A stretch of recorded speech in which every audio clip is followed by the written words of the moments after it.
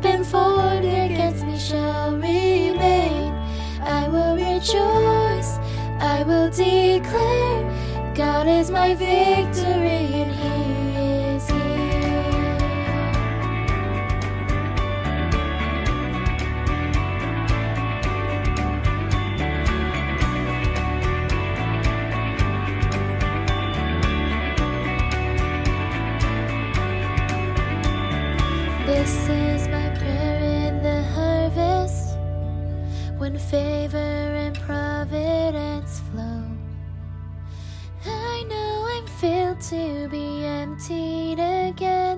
The seed I've received I will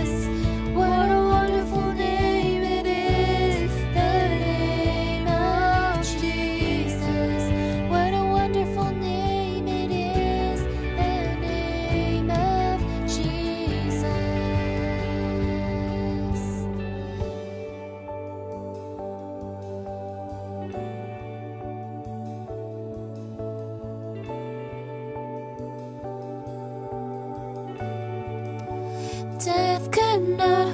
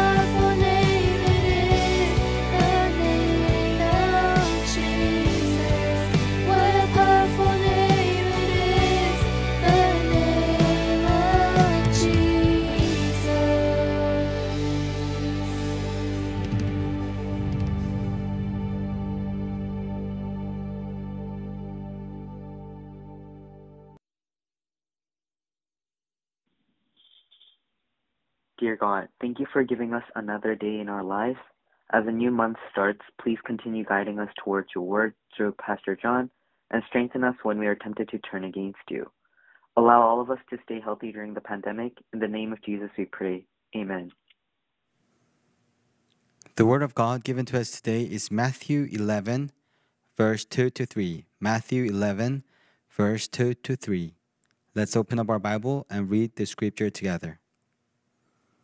When John heard in prison what Christ was doing, he sent his disciples to ask him, Are you the one who was to come, or should we expect someone else? Amen. The word of God given to us today is entitled A Doubting Preacher. A Doubting Preacher. Have you ever met a preacher who doubted? While he's preaching to convince people to believe in God, he himself is doubting about God. Have you ever met a preacher like that? Well, it'd be really odd to find a preacher or to meet a preacher like that, right? But today, I would like to share with you a story. A story of a preacher who doubted, who doubted Jesus. It's not because he wasn't called by God or anything. This preacher was specially called by God. He was called by God to prepare the way of the Lord. He had a unique spiritual experience of God's calling. But then came a moment and a time that this preacher also went through times of doubt. There was out in the wild a man, a man preaching loud, Repent, for the kingdom of heaven is coming near. This man didn't dress anything fancy, it wasn't suits, it was just clothes made of old animal skins. He instead looked homeless. But surprisingly, people gathered from all around to listen, to listen to this man preach. And they started repenting. They started being baptized by this man. He also preached, I am baptizing you with water, but then there's going to be this someone who's going to come after me, and he's going to be more powerful than I am. And he's going to baptize you with water and fire. This man in the wild, with no fancy clothes, preaching, preaching about this man who is to come. The man who was to come after this man was Jesus, the Son of God. Did this man meet Jesus in advance to be able to preach about the coming of Jesus? No, it was revealed to him by the Spirit. The preacher knew Jesus would be coming because it was revealed to him by the Spirit. It was revealed to him by the Scripture. And that's why he was preaching about the coming Jesus. This preacher's name was John the Baptist. John the Baptist had a father, and his father was also a pastor. One day, this pastor was praying at church, and an angel appeared. Zechariah, you're going to have a son. This son is going to be a very unique, a very special son. Why? Because he's going to be filled with the Holy Spirit from his birth. And this is what the angel told Zechariah about this son to be born. Let us read together Luke 1, verse 17. Luke 1, verse 17. And he will go on before the Lord in the spirit and power of Elijah to turn the hearts of the fathers to their children and the disobedient to the wisdom of the righteous, to make ready a people prepared for the Lord. Amen. What would the Son do? He's going to prepare people for the coming of the Lord. This Son who was to be born was going to be someone who's going to prepare the way of the Lord, the way of the Son of God, the way of Jesus. And that's what, when this boy grew up, that's what he was doing. He was out in the wild preaching, preaching about the coming of Jesus. He never met Jesus, but it was revealed to him by the Spirit. And that's why he was preaching out in the wild repent, for the kingdom of heaven is near. And then this one day, this Jesus really appeared before him. He came to him and walked toward him. And right away, John recognized this Jesus. He said to his disciples, Look, that's the Lamb, the Lamb of God, who's going to take away the sin of the world.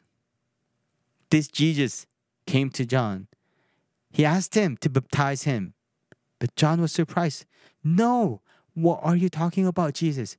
You're the Son of God. You're the one who's supposed to baptize me, not I baptizing you. But Jesus insisted. That's why he baptized Jesus in the water. But then at the moment, he saw how the heavens opened, how the Holy Spirit descended in the form of a dove upon Jesus. And he heard the voice of God saying, This is my Son, whom I am well pleased. The Son of God that John had been proclaiming, preaching about for the years, the Son of God that he had given his life just to preach about him. John finally got to meet him. And he recognized him right away because it was revealed to him by the Spirit. And more than that, John had a very unique spiritual experience while he was baptizing this Jesus. He saw the Holy Spirit descending upon this man. He heard how God was claiming that this is the Son that God is well pleased. How a very unique spiritual experience was that? John would have been so convinced that it was really worth it to give his life to preach about this Son of God to come. And he was so convinced that Jesus was the Son of God. But time passed. But time passed. And came a time that John, the preacher who had been preparing the way of Jesus, started doubting about Jesus. Why? Because this Jesus did not fit into the expectations that John had. This is what John expected Jesus to be like. This is a passage of what John had been preaching before Jesus' arrival. Let us read together Matthew 3, verse 10. Matthew 3, verse 10. The axe is already at the root of the trees and every tree that does not produce good fruit will be cut down and thrown into the fire. Amen. What does he say? The, the axe is ready to cut the root of the tree. That's how John understood this Jesus to come. Jesus was the axe that was ready to cut the root of the tree, the trees that weren't bearing good fruits, the trees that were bad fruits, evil trees. Jesus was come to cut it off and to put it into fire. He expected Jesus to be that axe, that person taking the action of judgment. John expected when the Son of God was to come into this world, he was going to be the judge. He was going to judge the unrighteous, the evil, and put them into fire. But this was not something that was happening after Jesus' arrival. Jesus started his ministry, but he didn't do any judgment. Instead, he approached everyone with compassion and mercy. And instead of these unrighteous people being judged, John the Baptist was the one put in prison. Why? Because he publicly claimed and rebuked how the regional king married his brother's wife. And that wasn't right. And John the Baptist rebuked about it publicly. And that is why he was imprisoned. John found himself, the righteous one, the one who was preparing the way of the Lord, in the prison. And this Jesus who was to come to judge the unrighteous, he didn't do none of that. none of what John was expecting. And he saw how the unrighteous, unrighteous was there out in the world living their life. John couldn't understand. What's going on? I don't understand. What is Jesus doing? And that's why he started doubting Jesus. And one day he sends his disciples to Jesus to question him. And that's today's passage. Let us read together again today's passage Matthew 11, verse 2 to 3. When John heard in prison what Christ was doing, he sent his disciples to ask him, Are you the one who was to come, or should we expect someone else? John sends his disciples to ask Jesus, Jesus, are you really the one to come? Are you really the Messiah, the Christ, the Son of God? Or do I have to expect someone else? Because you don't seem to fit my expectations. I can't understand what you're doing. Did John doubt Jesus because he didn't have spiritual experiences? No. Probably John the Baptist would be one of the people in the whole historical figures to have had a very unique experience of Jesus and how he was the Son of God. But why? But why did he start doubting? Why did he start doubting? Because he couldn't understand what Jesus was doing. We sometimes doubt. We doubt Jesus. We doubt God because we can't understand. It's not that we doubt because we don't have spiritual experiences. We could have all sorts of unique spiritual experiences, but we might start doubting because we can't understand what God's doing, what Jesus is doing in our life, what Jesus and God is doing in this world. But real faith is not about believing what we can understand, because everyone can believe what they understand. Real faith is about believing even at times you can't understand. Real faith is about believing even in times of doubts. One of the mistakes I've made as a teenager was to resolve that doubt equal to not believing. And because I had doubts, I resolved and I've evaluated to myself that I didn't believe in God. So although I was at church, my heart was closed. And it took me a long, long time to come back to God. But then later I got to understand and realize no matter what kind of spiritual experiences you have, doubts will arouse when you can't understand. But does that mean because you doubt, you don't have real faith? No. Real faith is to believe even in moments of doubt. Real faith is to believe even when you can't understand. That's why there are so many things I still don't understand. And that's why there are times I doubt. But I persist and believe even in moments I can't understand. Because that's what faith is about. Let us pray. Let us pray so that God gives us a faith to believe in times we do not understand. Let us pray so that we would not be overcome by our doubts, but rather overcome our doubts. Let us have a moment of prayer.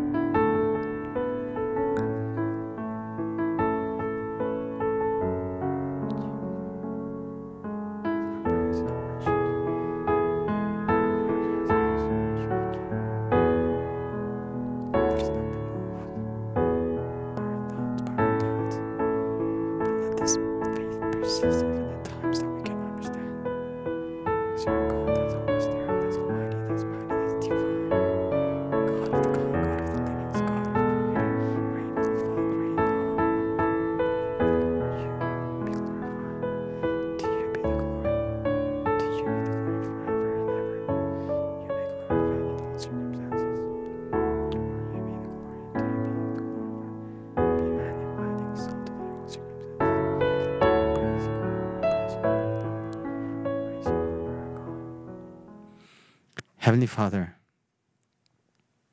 it's not that we doubt because we don't have spiritual experiences. There are moments at retreats or other places that we were so assured of you and we knew you, we felt you. But with time pass, and we start doubting you because there are moments we can't understand. God, give us the faith to believe even through times we can't understand and even through times we doubt. In the name of Jesus Christ we pray. Amen. Our Father in heaven, hallowed be your name. Your kingdom come, your will be done, on earth as it is in heaven. Give us today our daily bread, and forgive us our debts. As we also have forgiven our debtors. And lead us not into temptation, but deliver us from the evil one. For yours is the kingdom, and the power, and the glory, forever. Amen. Here's the announcements for today. Prayer for November will be grade 10. Student Council election. Student Council election is today. We will have our election just after the service. Baptism and confirmation. Baptism and confirmation will be held on November 21st. Registration is to end today. Weekly program, we have Bible sharing and PJ Taxi. Thank you, everyone, and have a great, blessed week.